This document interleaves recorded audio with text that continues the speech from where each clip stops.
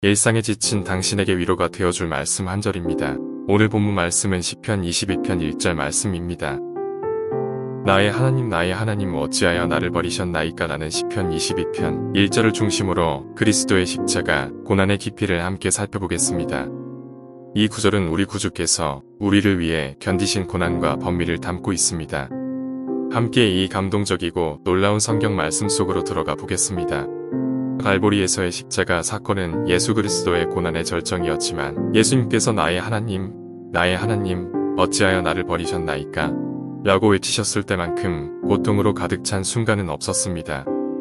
이 순간 예수님은 육체적으로 약해졌고 정신적으로 고통스러웠으며 영적으로 고통스러워 하셨습니다.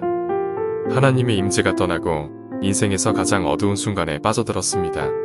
힘든 시기를 겪을 때 우리는 하나님이 우리를 버린 것처럼 느낄 수 있지만 우리의 상황은 그리스도의 상황과 다르다는 것을 기억하는 것이 중요합니다.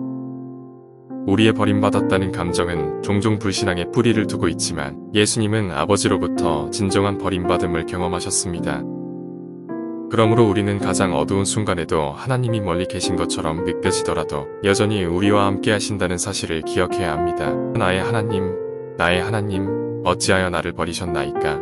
라는 예수님의 외침은 우리를 대신해 겪으신 엄청난 고통과 아픔의 증거입니다. 그것은 단순히 자신의 고통을 표현한 것이 아니라 하나님이 자신을 외면하신 현실에 대한 선언입니다.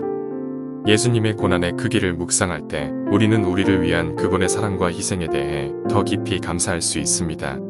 만약 여러분이 어려움 가운데 있고 하나님이 여러분을 버리신 것처럼 느껴진다면 그분은 여전히 여러분과 함께 하신다는 것을 기억하십시오.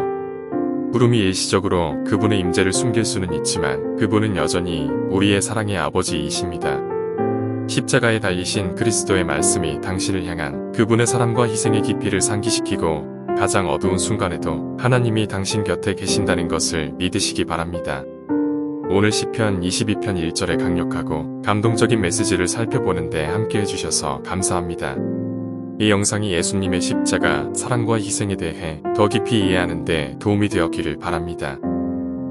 끝까지 시청하신 여러분께 감사드리며 이 영상이 일상에 지친 당신에게 위로가 되길 소망합니다.